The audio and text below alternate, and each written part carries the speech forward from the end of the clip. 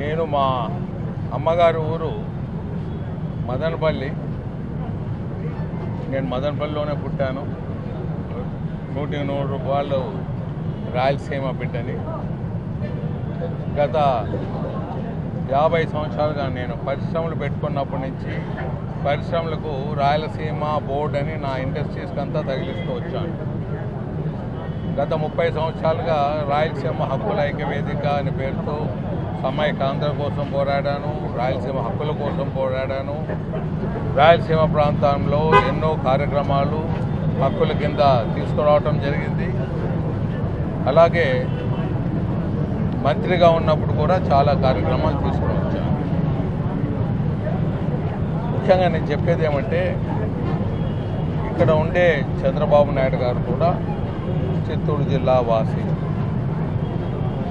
భగవంతుడు వెంకటేశ్వరున్న కర్ణతో వారు ముఖ్యమంత్రి కావటం పలుమార్లు ముఖ్యమంత్రి పదవి స్వీకరించడం ఈ ప్రాంతాన్ని అభివృద్ధి చేయాలని నిరంతరం కృషి చేసే దాంట్లో చంద్రబాబు నాయుడు గారు ముందు వరుసలో ఉన్నారు. మరి మిగతా వాళ్ళకు చేయలేదంటే మిగతా వాళ్ళు వారి చేతనంత చేశారు కానీ చేయవలసిన పని ఇంకా ఎక్కువగా ఉన్నందున ఇలాంటి కార్యక్రమాలు చంద్రబాబు నాయుడు గారే చేయగలరు. తెలుగు గంగ తీసుకొని వచ్చారు చంద్ర ఎన్టీ రామారావు గారు. మంత్రి నీవా ప్రాజెక్టు ముందుకు తీసుకోపోయారు చంద్రబాబు నాయుడు గారు. ఇంకా పూర్తి చేయవలసిన కార్యక్రమం ఉన్నది. మరి అలాగే ఇప్పుడు కొత్త మీరు విన్నారు కొత్తగా. పెన్నాని కూడా కలుపుతాము అని గోదావరి నీళ్ళతో. ఇది భగీరథ యజ్ఞం కన్నా గొప్పది. మరి ఇటువంటి అపర భగీరథుడు చంద్రబాబు నాయుడు గారు మనతో ఉన్నందున ప్రధానమంత్రి మోదీ గారికి దగ్గరగా ఉండటం వల్ల డెఫినెట్గా ఈ రాయలసీమ రత్నాల సీమ దిశకు ముందుకు వెళ్తుందని తెలియజేస్తున్నాను. ఆయన అన్ని ప్రాంతాలని చూసుకొని ముందుకు వెళ్తున్నాడు. అందులో భాగంగా రాయలసీమ ప్రాంతం ముందుకు వెళ్తున్నది. ప్రధానమంత్రి ఆశీస్సులు ఎల్లప్పుడూ ఉంటుంది. నా కుమారుడు భరత్ కూడా ఇండస్ట్రీ మినిస్టర్గా తీసుకున్నారు.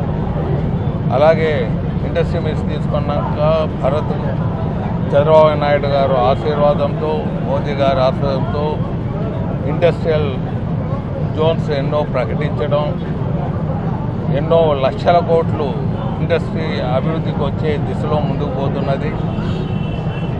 సో యంగ్ మ్యాన్ డెవలప్ చేసి మంచి చేసుకోవాలని ముందుకు తహదాలాడుతున్నాడు ఆయనకు తోడుగా లోకేష్ గారు ఉన్నారు.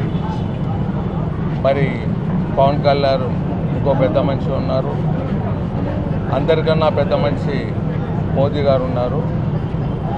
అనుకున్నవి అనుకున్నట్లు సాధించుకునే దిశలో ఇప్పుడు ఈ రాష్ట్ర ప్రభుత్వం ఉన్నది కాబట్టి మోదీ గారి ఆశీస్సులు మెండుగా ఉన్నాయి కాబట్టి ప్రజలు ఓపిక బట్టి కొద్దిగా ముందుకు పోవాలి. దీన్ని లిటిగేషన్స్గా తీసుకురావద్దండి సబ్జెక్టులని మీడియా కానీ ఇది ఎలా చేస్తే బాగుంటుందని తీసుకురండి. నేను ఎన్నో ఇబ్బందులు పడ్డాను సిద్ధేశ్వరంని ఐకాన్ బ్రిడ్జ్ని ఒక చెక్ డ్యామ్ కమ్ ఐకాన్ బ్రిడ్జ్గా చేయాలని. అప్పుడున్న ప్రభుత్వం నేను చైర్మన్గా ఉన్నాను పార్లమెంటరీ కమిటీ చైర్మన్గా నేషనల్ హైవే మా కింద ఉన్నది. దాన్ని పుష్ చేశాను. బీజేపీ గవర్నమెంట్ కూడా సానుకూలత చూపించింది కానీ స్టేట్ గవర్నమెంట్ నుంచి ఏమీ పాజిటివ్ రెస్పాన్స్ రాలేదు. చంద్రబాబు నాయుడు గారు దాన్ని ఏమాత్రం అవకాశం ఉన్నా పాజిటివ్ రెస్పాన్స్ చేసే దిశలో ముందుకు పోతామన్నారు. అలాగే మా రాయలసీమ ప్రాంతం రత్నాల సీమ మారేదానికి ఎన్నో అవకాశాలు ఉన్నాయి అలాగే బెంచ్ హైకోర్టు బెంచ్ ఇస్తానన్నాడు చంద్రబాబు నాయుడు గారు. మరి ముందు వచ్చింది తీసుకోవాలి మనం? దాన్ని తిరగాసు పెట్టి అది రాకుండా చేసుకుంటే చందమామ రావే జాబిలి రావే అన్నట్టు ఉంటుంది చందమామ రాదు జాబిలి రాదు. మీరు దయచేసి అర్థం చేసుకొని వచ్చేటివి తీసుకోవాలని లాయర్లు కూడా నేను రిక్వెస్ట్ చేస్తున్నాను. ఏది ఇస్తారో అది ముందు తీసుకోండి. తర్వాత ఏమైనా ప్రయత్నాలు ఏమైనా ఉంటే మళ్ళీ మనం ఇది చూసుకోవచ్చు. వచ్చేదానికే మనం తాపత్ ఇబ్బందులు పడుతూ అది వద్దు ఇది వద్దు మాకు ఇది కావాలని అంటే అది పోతుంది ఇది పోతుందని మీకు తెలియజేస్తూ సెలవు తీసుకోండి సార్ గత ఐదేళ్ళలో సాగు తాగునీటి ప్రాజెక్టులు నత్తనడకన సాగాయి. ఇప్పుడు కొత్తగా ఏర్పడిన ఎన్డీఏ ప్రభుత్వంలో ఇది పూర్తిగా జరుగుతుందా లేదా అన్న అనుమానం ప్రజల్లో నెలకొంది. అంటే ఒక రాయలసీమ వాసిగా మీరు గతంలో ప్రాజెక్టుల పైన పోరాటం చేశారు. ఇక్కడ రాయలసీమలో ఈ హంద్రీనివా గాలేరు నగరి పూర్తవుతున్న నమ్మకం మీకుందా? సస్యశ్యామలు అవుతుందా రాయలసీమ? చూడండి బ్యాంక్ రప్ట్ స్టేట్గా బయటకు వచ్చింది. మనం ఎవరు అడగకుండానే ఆయన ఇవి చేయాలనే తాపత్రయం ముందుకు చూపించారు. ఆయన తపన మనం అర్థం చేసుకోవాలి. మోదీ గారి ఆశీస్సులు నిండుగా ఉన్నాయి చంద్రబాబు నాయుడు గారు. ఏ రాష్ట్రానికి లేదు ఏ చీఫ్ మినిస్టర్కి లేదు అంత ఆశీస్సులు నిండుగా చంద్రబాబు నాయుడు గారికి ఉన్నాయి. ఎందుకు కారాదు? కారాదు అంటే ఎవడైనా అడ్డం వేస్తే తప్ప కారాదు అనేది ఉండదు. సో నూటికి నూరు వాళ్ళు అయ్యే దిశలో పోతుంది. ఎప్పుడు కానీ మనము పాజిటివ్ రెస్పాన్స్ వాళ్ళు ఉన్నారా లేదా అని మనం చూడాలి. మన కథలు చెప్తున్నారా పాజిటివ్ రెస్పాన్స్ ఉన్నారు. పాజిటివ్ రెస్పాన్స్ ఉన్నప్పుడు మనం దాన్ని ఎక్కువ మనం లాగదీయకుండా దానికి ఎలా మద్దతుగా ముందుకు పోతే బాగుంటుంది దానికి ప్రజలు కానీ అధికారులు కానీ లేకపోతే ఆ, మీడియా కానీ సపోర్ట్ ఇస్తే అది ముందుకు పోతుందని కనీసం. ప్రతిపక్ష హోదాలో లేని జగన్మోహన్ రెడ్డి ఒకటిన్నర నెల ఎన్డీఏ ప్రభుత్వంపై విమర్శలు చేస్తాడు సార్. ఆయన లోక్యానికి వదిలేస్తామండి. ఇప్పుడు రాజకీయం అది. ఈ రాజకీయం మహాభారతం పుట్టినప్పటి నుంచి మనం చూస్తూనే ఉన్నాం. ఇప్పుడు కాదు యుగాలుగా ఉన్నాయి ఈ రాజకీయాలు. సో ఈ ఉంటాయి ఇవి దాని గురించి మనం పెద్దగా పట్టించుకునే పని లేదు. ఒక్కొక్కరు పాజిటివ్